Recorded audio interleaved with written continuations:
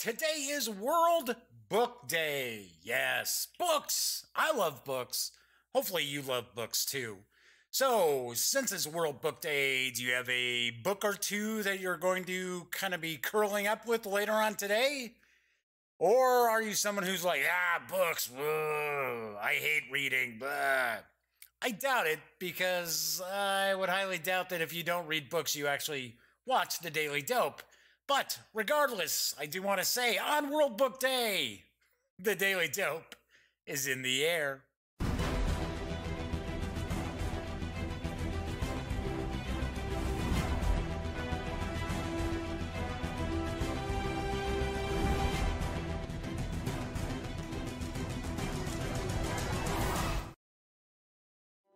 Howdy, howdy, howdy, gang. Jeff McAleer once again, and I am your host here at the Daily Dope, as well as happening to be the Grand Poobah of thegaminggang.com. And I've got the kitties down here with me today. And look who's right on my lap right now. It's good old Smokey. Hello, Smokey. Come on, relax. Just because I'm talking doesn't mean you have to go jumping off someplace. Just lay down, kiddo. Anyway, hey, welcome aboard. If this is your first time visiting, feel free, kick back and relax. This is a very, very casual show. Uh, and of course, if you watch regularly, thank you for watching. So today is Monday, April 23rd. Pretty crazy weekend this weekend. Actually, got a little bit of gaming in, so that was pretty cool. Did a lot of RPG reading, which was pretty cool as well.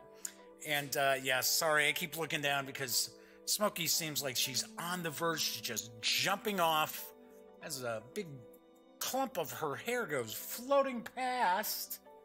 Yeah, kiddo. Oh, now it's all over my nose. What's wrong with you? Hmm? Do you have to shed right this second? Anywho, so uh, pretty good weekend. And then, of course, last night was the season two premiere of Westworld. Wow, pretty bizarre. It's that show is just going to keep you guessing constantly. I can see already. Hopefully, they don't uh, kind of replay a lot of the uh, changes in time as they did last season. Kind of, kind of had that vibe last night that they were going to kind of pull that again. And I'm like, okay, that's been done. Let's not do that again. Anyway, still a pretty good episode, though. All right, anyway, I've got quite a bit of news today, and I am also going to be taking a look at the second edition of Bloc by Bloc from Out of Order Games. It is not out yet. It is going to be coming to Kickstarter in May, but I've got a first look. So we will take a peek at that in just a bit. So let's get on to the news because Stronghold Games has two new titles which are on the horizon, and they have started pre orders for both. Get ready for it Memo R and Steamrollers. Here's the dope Hate memory games? You'll love this one, Memoarrr. Different strategy levels change this game from a nice, light family game that you can play with your kids to a more challenging one. The game is nicely themed through treasure chests and adorable sea creatures that grant you powers. You need some recollection and a bit of pirate luck to win at Memoarrr. I don't know, are pirates lucky? I thought most pirates were hunted down, and uh, I don't think they're all that lucky then. Anyway, Memo R. You flipped the wrong card. To play Memoarrr, two to four players need the power of recollection and, as previously mentioned, the luck of pirates. Only then can they make their escape from the island of Captain Goldfish, their pockets lined with rubies, before the lava swallows them up. In turn order, players reveal locations that are connected via animals or landscape to the most recently revealed location. If you reveal a location without any connection, you're out of the round. The last remaining pirate grabs one of the valuable treasures. Then all revealed locations are turned face down before the search can start afresh. Advanced rules enable players to use the special powers of the animals, which are triggered when a connected location is revealed. making Memoarrr exciting for the young and for experienced gamers.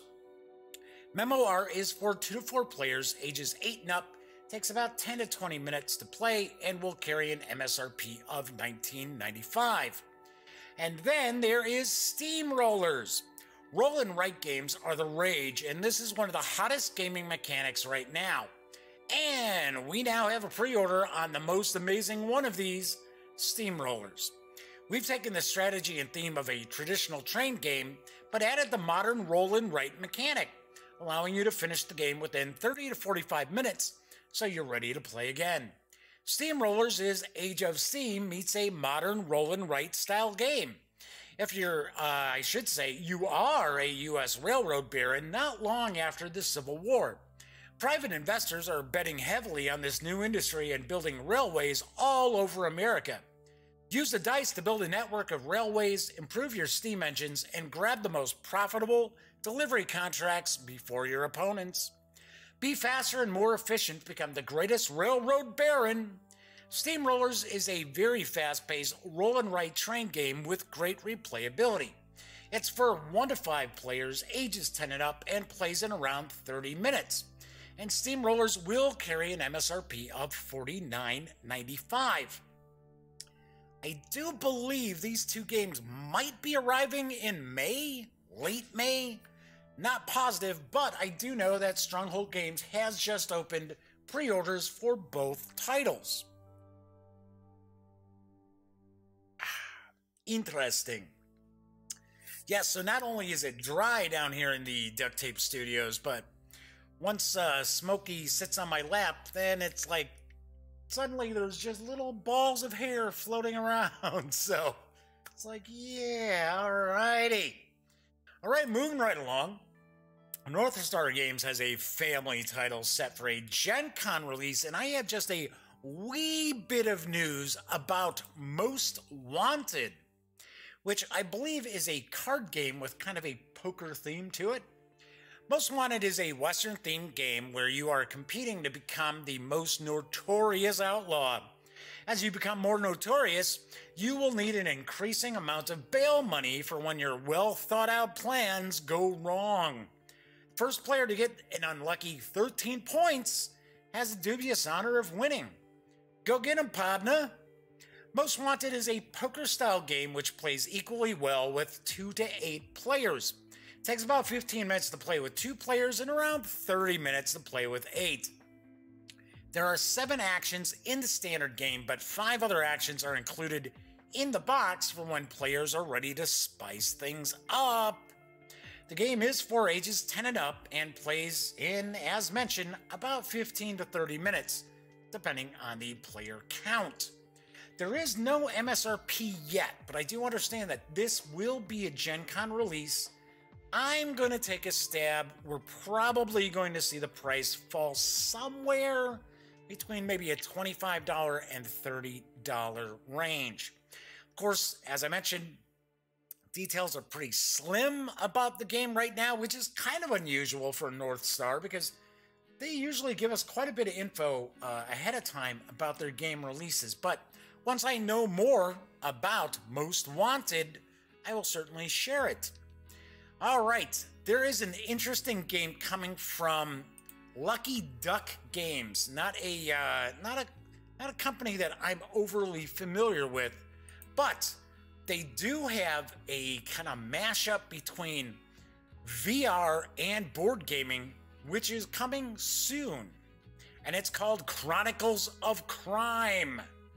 With the same physical components, players will be able to play plenty of different cases and scenarios and solve many different crime stories.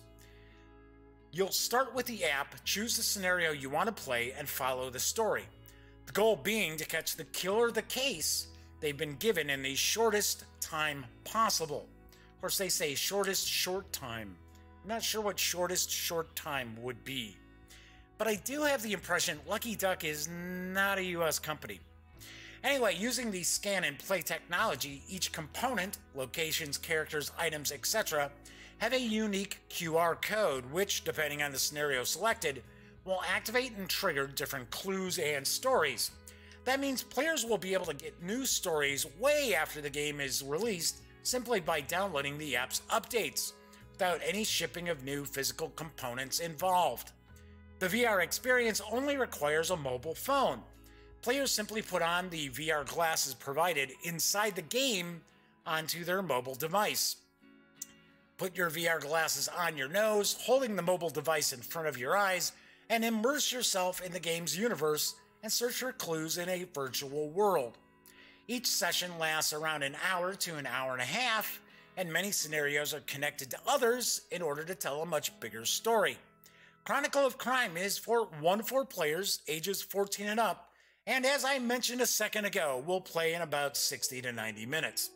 The game carries an MSRP of $39 and it has a planned release in late Q4.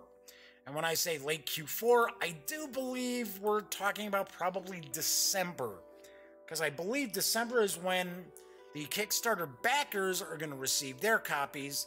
The um, the Kickstarter actually rose almost eight hundred thousand dollars for Lucky Duck Games, so it does look interesting. If you if you take a peek at the uh, Kickstarter, uh, there are some aspects that look kind of neat.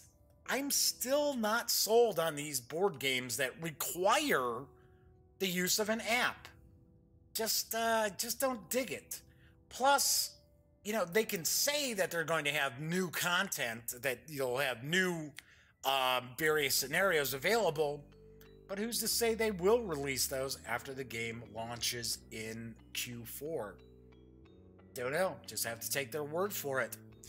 All right, moving right along, the latest expansion for the second edition of Mansions of Madness is now available from Fantasy Flight Games. I've got the dope on Sanctum of Twilight. Searchers after horror haunt strange, far places, but the true epicure of the terrible, to whom a new thrill of unutterable ghastliness is the chief end and justification of existence esteem most of all the ancient, lonely farmhouses of backwoods New England.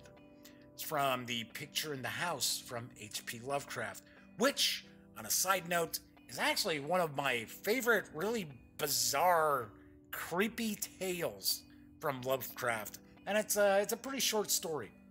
Anywho, back to uh, the expansion. In Sanctum of Twilight, two to five players take on the roles of Arkham's bravest investigators as they prepare to stand against the Order of the Silver Twilight in two digital scenarios that feature new map tiles to explore, a new monster to fight, and two new characters to embody. This expansion unites allies from Arkham's own backyard and across the globe with the introduction of Charlie Kane and Lily Chen.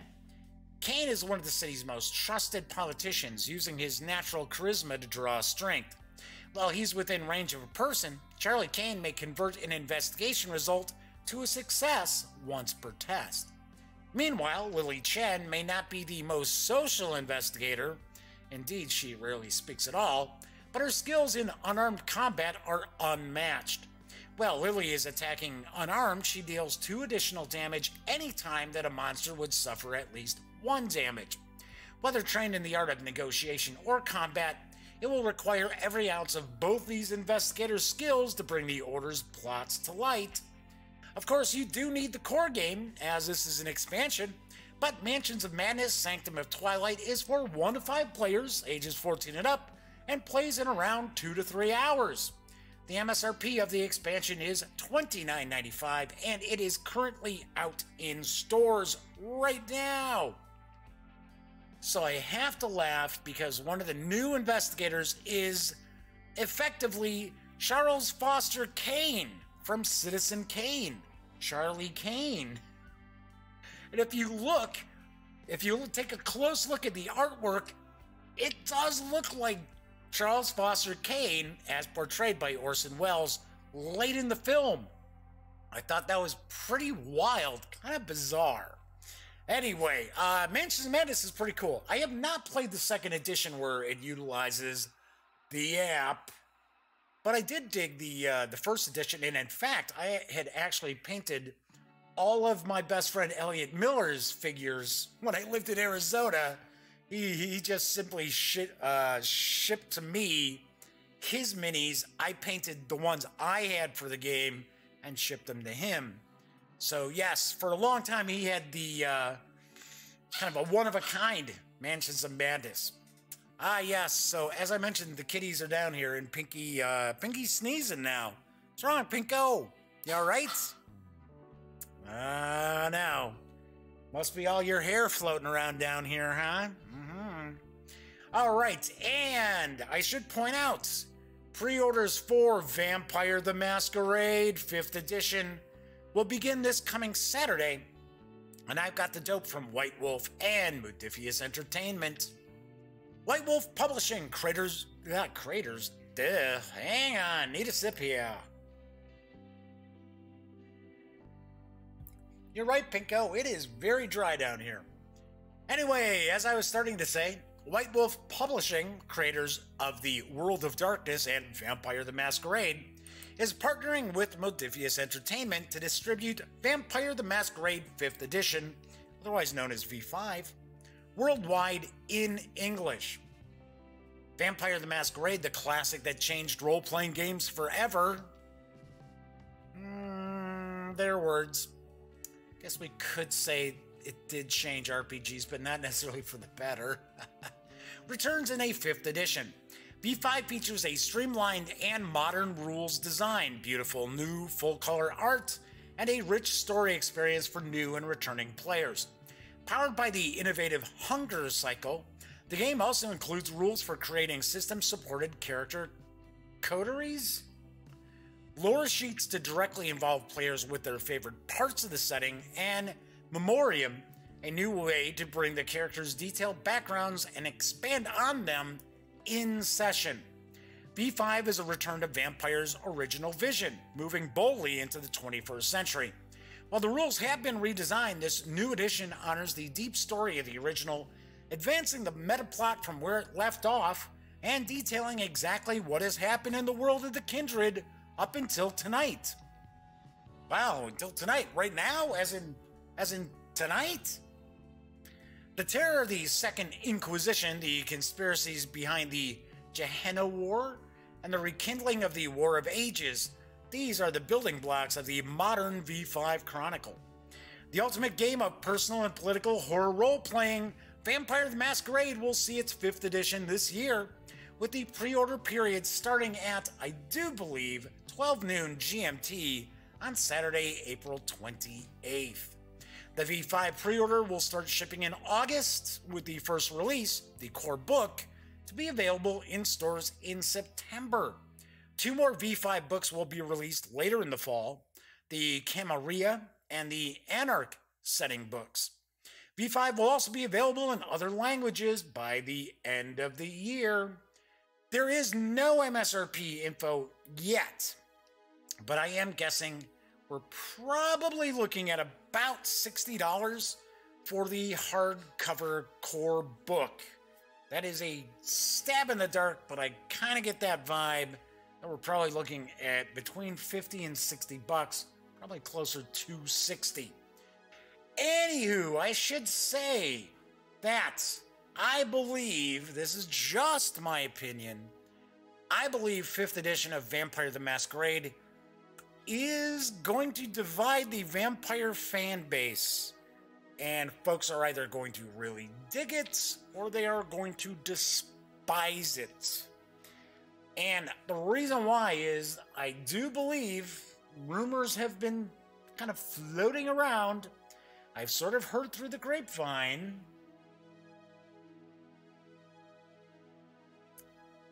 that a lot of folks who are playtesting or who had been playtesting the game were not digging the fact that now the characters, the player characters, aren't really villainous. They are monstrous, doing monstrous things. And some folks are not digging that aspect that they felt, hey, you know, they enjoyed the whole, hey, I can I can play kind of like Anne Rice sort of vampires in this game I don't have to be really like evil, evil. That is not how it's kind of sounding. And to be honest, I heard one of the playtest characters is a pedophile. What? Hmm. I don't know. Now, Ken Hite is kind of like lead design on it. He does good stuff, does good work. I don't know. I'm just like I said. I'm kind of, I kind of get an impression that some folks are going to be like, "Wow, I really dig this dark, dark tone to the game," and other people are going to be like, "Ooh, I don't know. This this is maybe not going in a direction I want to role play." So who knows? I do not know. Hopefully, I'll get a chance to take a peek at the core book when it comes out. I'm assuming we will see some copies at Gen Con. All right, so that is it for the news today. And uh, I am going to dig into Bloc by Bloc second edition in just a moment. But I do want to say that uh, coming up this week, tomorrow, oh, I have to go grab this and pick it up again. And this thing is just really heavy. And I keep sitting here thinking, oh, I'm going to drop this and knock over my Game of Thrones coffee cup and bust it. So I got to be careful. So tomorrow I'm going to review Thunderstone Quest from my friends over at Alderac Entertainment Group. So that's what's coming up on Tuesday. Wednesday, still up in the air. There may not even be a show on Wednesday because uh, it's kind of up in the air that I may need to go over to my brother's and keep an eye on the kids. So that is a possibility. I will know more tomorrow. If not, I might just uh, might take a look at a classic game. Maybe try to bust out uh, kind of a classic conflict game, conflict simulation, something like that to take a peek at for War Game Wednesday. Thursday, I've got a treat. I've got yet another Kickstarter advanced preview. This time, it is going to be the Savage Seas of Nehwon, which is part of the uh, Lankhmar collection for Savage Worlds from Pinnacle Entertainment. And the fine folks at Pinnacle were kind enough to send me a preview PDF and that is something that's going to be on Kickstarter. I believe it's going to run May 1st. I think it's a short Kickstarter. I think it's only a couple of weeks. So I will be talking about that. And then on Friday, I will review, uh, finally review of Dreams and Shadows from Greenbrier Games. Yes, I know Fridays are usually family friendly or family fun Fridays, but doesn't have to always be kind of family games, especially when I don't have a lot of family games available or I haven't uh, haven't played them enough, the ones that I have available to me to do a review yet. All right, so moving right along, just so you know, there is chat available. I always forget to mention that beginning of the show. So if you are watching live and you have questions about bloc by bloc, feel free chime in. If you want to say hello, that's great too. I will uh, kind of keep an eye on chat. So uh, if you do say hello, that you're not sitting there waiting like 20 minutes for me to respond.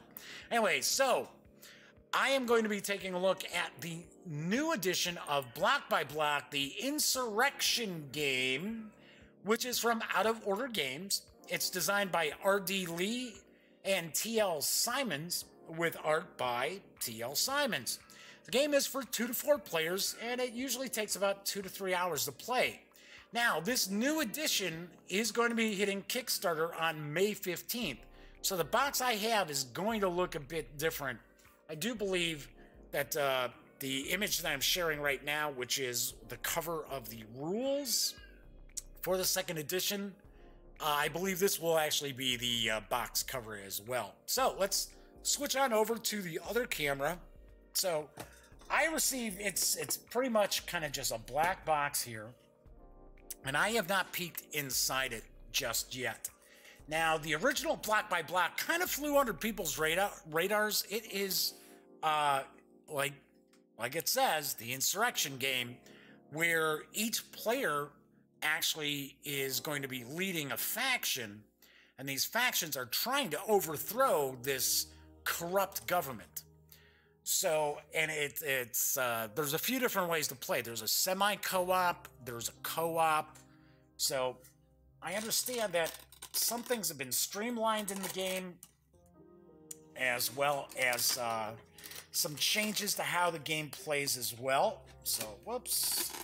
So as we can see, there's some Velcro on this box here. All right, so that was something for me here. I'll put that off to the side. So as I as I mentioned, that's the artwork for the new cover. A uh, little bit of a change in the uh, in the artwork. A little bit of a change in the style and kind of vibe from the artwork.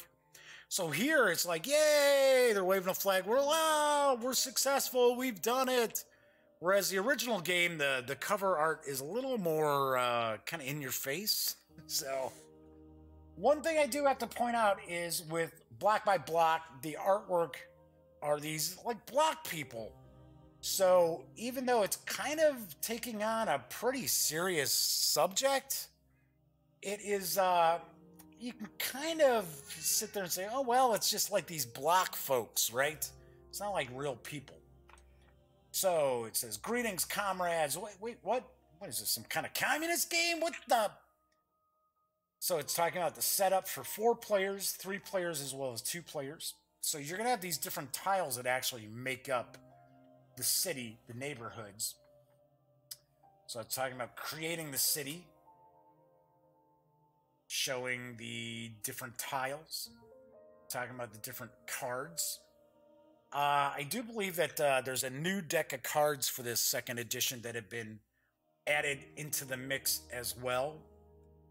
So it says gameplay overview. We have the workers, prisoners, neighbors, students versus the state.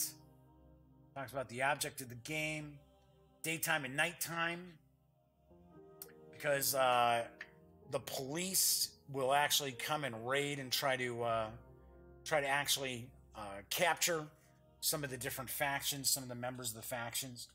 So it's showing a district guide about streets, highways, and the metro. Gameplay at night. So you're going to roll action dice, you're going to take your actions. So there's movement, there's creating barricades, there's you can clash with the police. Talking about a reaction roll, loot, exchanging loot with other players. Build occupation, swap occupation, stop another faction's advanced action. So as I mentioned before, there's a co-op version and then there's a semi co op where, of course, each of the factions are looking to overthrow the government, but they're looking to make sure that their uh, objectives are met as opposed to, and you can kind of try to stop your uh, fellow uh, insurrectionists, I guess we'll say, from being able to complete their objectives. I was talking about type of occupations, special abilities. So this game is pretty meaty. I'll be the first one to point out this is a pretty meaty game. This is not uh, uh, just a read through the rules, jump on in. Because as you can tell, we've got about 20 pages of rules here. So we've got the attack actions, got the riot cops, riot vans, more nighttime, the police have their operations. Then there's uh, uh, police morale, which is a little bit different. There, uh, in the first edition, there really wasn't police morale. So actually, uh, as you're you're kind of beating up on the riot cops and things like that, the police morale can drop, so it can actually have an effect on them. And we got police operation cards, maneuver cards. Then we got the sunrise phase, police attack, liberating the districts, advancing the countdown, and checking for end game conditions. We're showing a component list here. And got a little bit of a player aid on the back. So it talks about the faction agendas as well as the police operations. So there is a new kind of uh, like pad, which is this is actually fabric. I kind of have a feeling. I don't know if it's going to be fabric for this or if it's going to be sort of like mouse pad material. I don't know. So you're actually going to be able to fold this out and lay it out like so. So a little bigger than uh, I was kind of expecting. So this is about the, it's about the top half. So let's move this over a little bit more so I can pull this over so you can kind of see the sides. So you also have the countdown. So really, uh, all in all, it's like 10 days. So as we can see, it starts off with 10, drops all the way down to 1. So that is this here. So let's see what else we've got. It's like player aids for each of the four players. Yep. Talking about nighttime, sunrise, actions, your action dice, reaction rolls. So these are the workers. Talking about the workers there. These are the students. Kind of get a kick out of the artwork. kind of kind of funny. See the workers here. Yeah, yeah, take a look at that. Yeah. Then we've got the neighbors. And then we also have the prisoners. I don't remember them being called prisoners in the first edition. I might be wrong. I do not know. It's been quite a while since I played. And then we've got these are the tiles for the different districts. So we see here this is a highway on this side. It says no stopping. It's a financial district.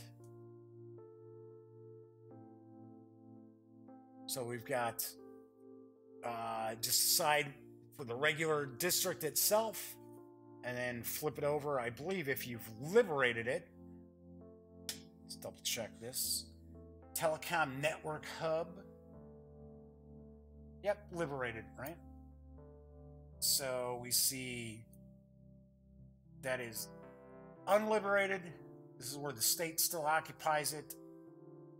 And that is liberated. And I can tell um, this is really, I, this is just a preview copy, right? So keep in mind, these uh, look like stickers that have been kind of added on to cardboard here, or something with adhesive. So they're not exactly perfectly squared off. Got the airport, so what you'll end up doing on this is you're going to see that you'll have these different districts kind of connect on this grid. Got the projects,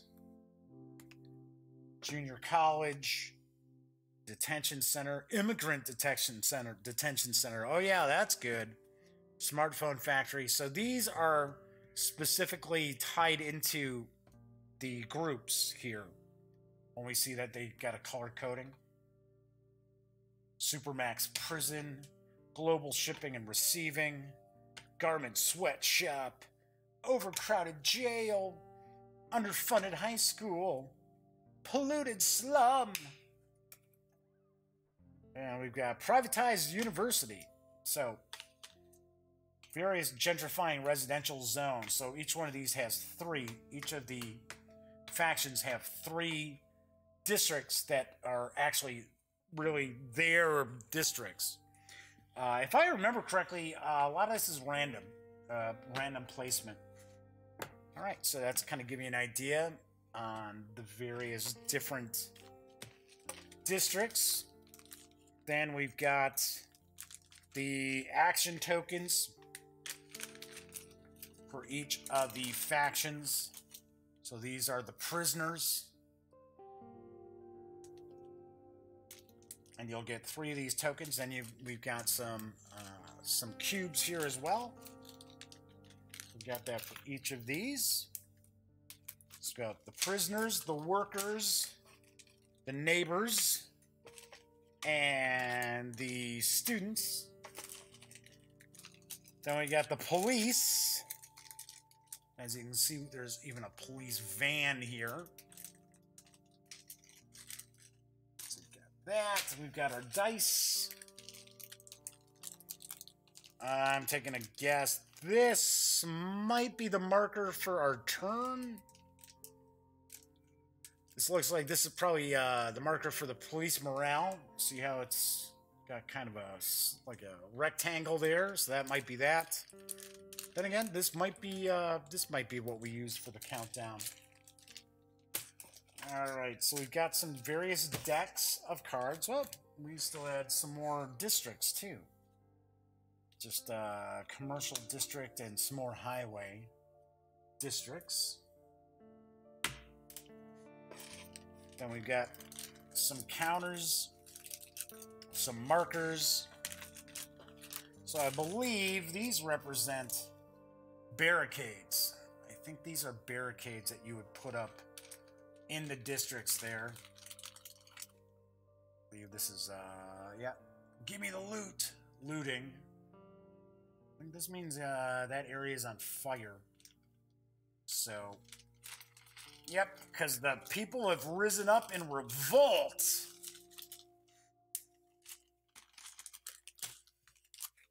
So then we've got this deck here. These are your agendas. So each player is going to receive an agenda card.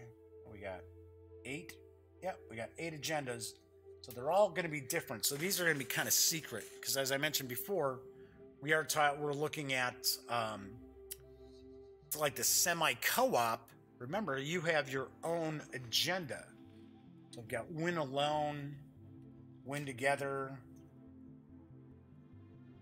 Just basically says two choices win alone and win together, but it also has a little bit of different text down here telling us what that means. So we've got vanguardists, nihilists, social, social, social, social, social. All right, so we've got that. Got the manifestation. Got the manifestation cards.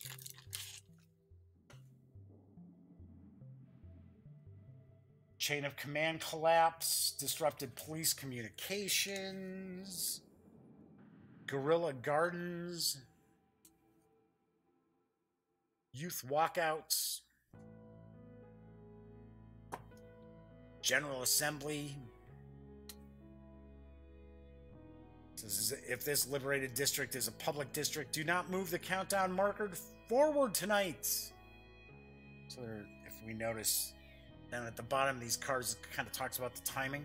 What's going on with the timing of the game for the countdown for each of these different cards and I believe that you need to pretty much have uh, liberated the city before the final final day, before the final turn ends. Then we got police operations. So we've got different cards for what are the police doing? Shuffle these up a little bit.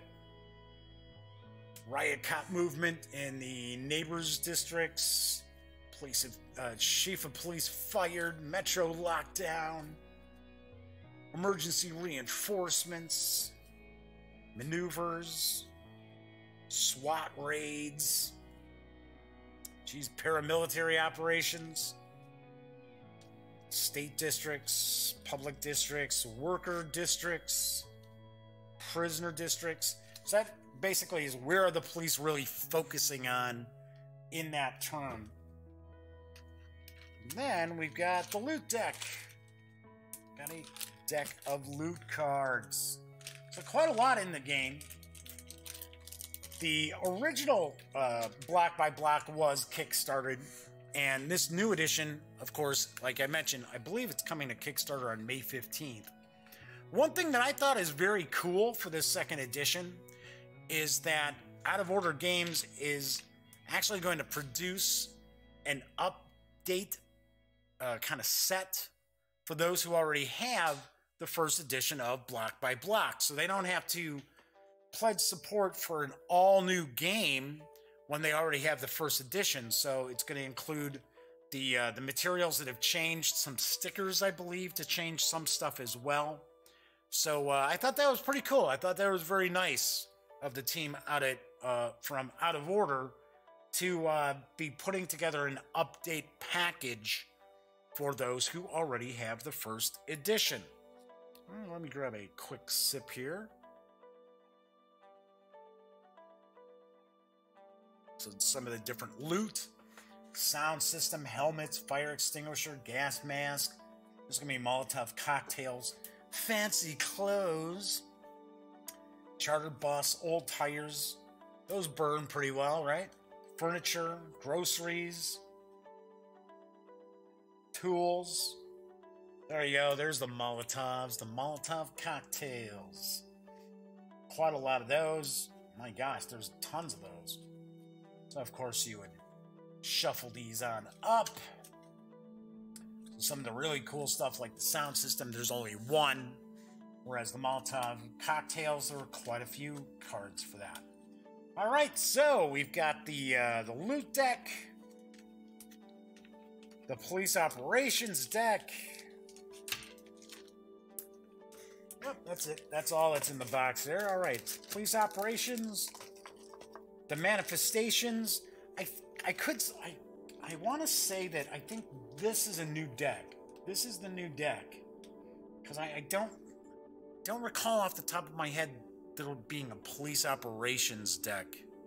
No, I, I should say I believe there was a police operations deck in the original uh, edition. So I think the manifestation deck is something that's new. Might be wrong. I'm not sure. I know there were the agendas.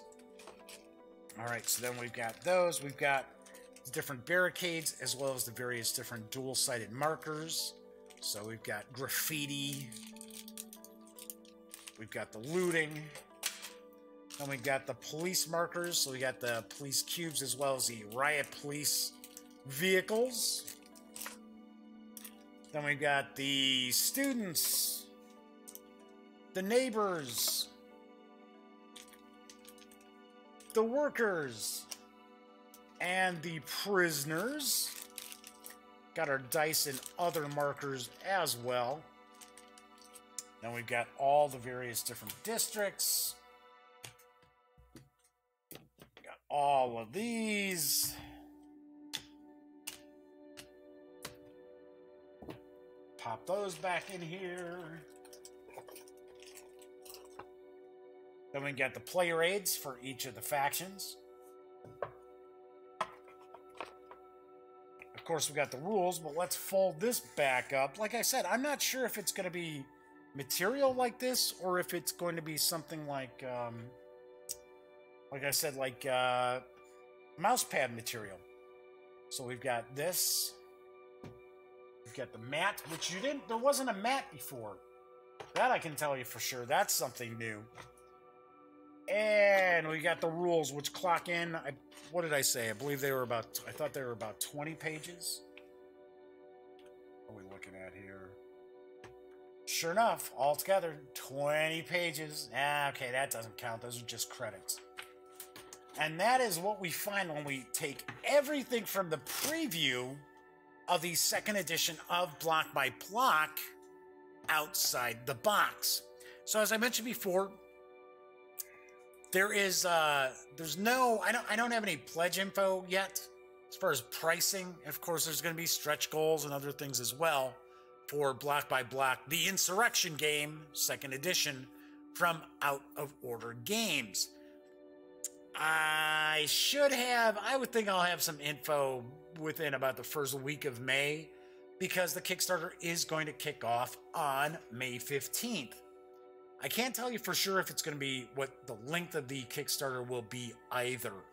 So I will have more news about that. What I will do is because now I need to send this back.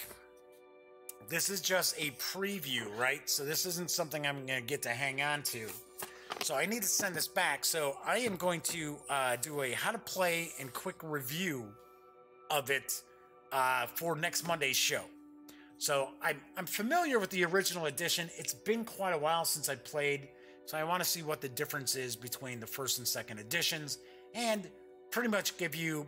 Okay, I'm I'm not gonna say it's gonna be a review because it is still kind of like uh, preview components and stuff like that. It's like beta components, but I will give you uh, my overall thoughts on the game and kind of show you how to play. That will be next Monday, so that'll give you plenty of time to check that out and decide if the Kickstarter is something you want to back or not. All right, so that is today's show. A little, little short, kind of quick today. Kind of zipped along pretty well.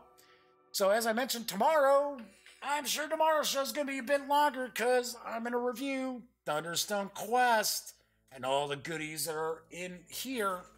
I will point out that uh, I'm just going to kind of review it based on one of the quests. I'm not going to go through all the quests in that because if you checked out the uh, preview, my unboxing, you know, my first look at Thunderstone Quest, there's tons of stuff in this monster cube. So I'm not going to tear all of it out because you've already seen it. Or if you haven't seen it, just go back and check out my first look. All right, so when you're not watching the Daily Dope, be sure to visit thegaminggang.com for all the latest in gaming news, reviews, comics, movies, TV. Come on, by now you know the drill. Get your geek on at thegaminggang.com. Once again, I'm Jeff McAleer. I will be back tomorrow. And until then, enjoy the rest of your Monday. And as always, thank you so much for watching.